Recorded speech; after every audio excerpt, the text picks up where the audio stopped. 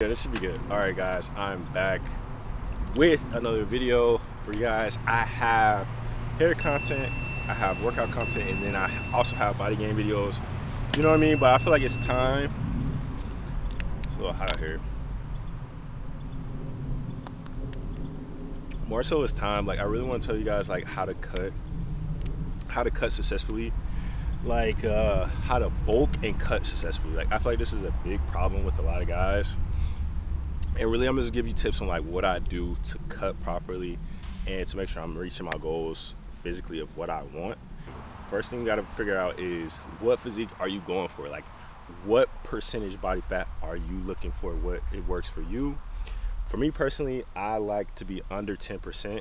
Right now I am a little bit higher than that just because it takes a lot more work, a lot more like discipline for dieting. It takes a lot more work for, you know I'm saying, you consuming meals. How I stay above or you know I'm saying, how I don't drown myself out with a lot of foods, a lot of seasonings and stuff like that, is if I do eat big or if I do eat larger portions, I work out for a longer period of time or I do a lot more cardio. So if you are cutting or if you want like a more aesthetic physique, and you are in the first starting process, you want to make sure that you're eating proteins because proteins to get you those muscles. Eat protein. Like that's what I do. Um, in the mornings, I eat like a heavier breakfast, but it's majority proteins. It's not too much carbs. It's just mostly like eggs, uh, soybeans, like beans and things like that. And then I also eat uh, like a lot of Brazilian foods and any steaks, anything like that. I eat that earlier. Then out throughout the day, it's like I kind of cut and I make sure I do my cardio. Like that's the main thing. If you're eating a lot of proteins or if you're eating a lot of foods in general, you have to do cardio. Like a lot of times people like run away from that.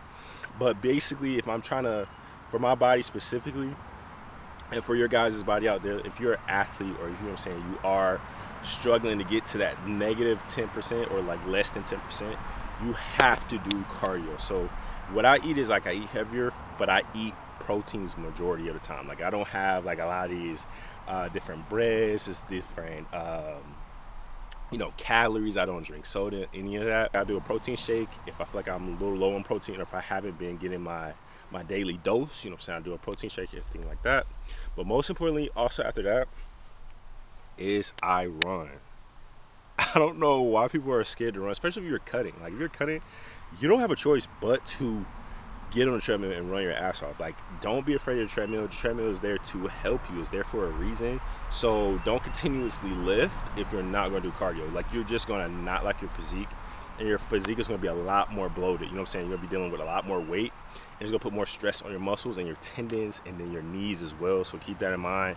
When you are doing cardio, go hard with it, but don't hurt yourself. But at the same time, make sure you are doing it. Like don't skip cardio. Like cardio is like one of the main things to cut the fat off you.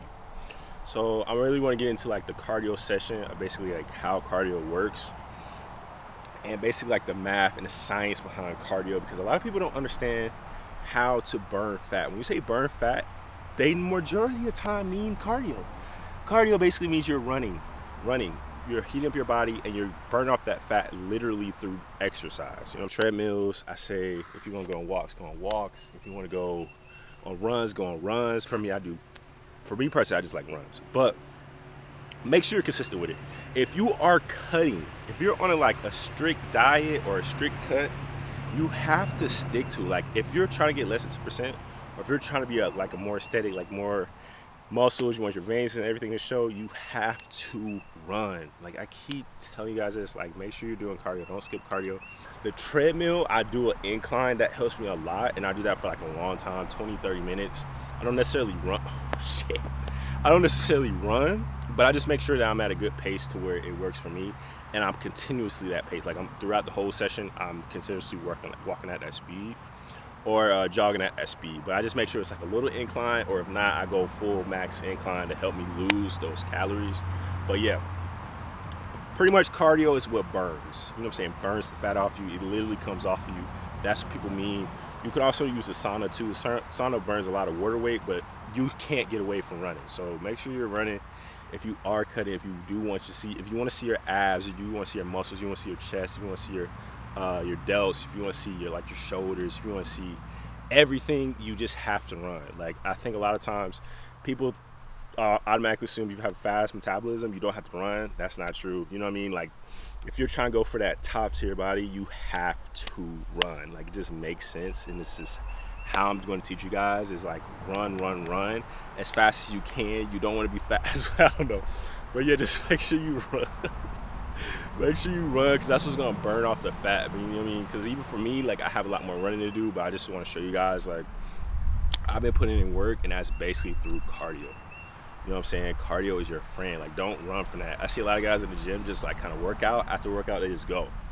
And then it's like their muscles are just, it's just not aesthetic. Like, like, ugh. I just wish I could like train their body. You know what I mean? Like, but I, everybody trains how they like. But yeah, make sure you're running.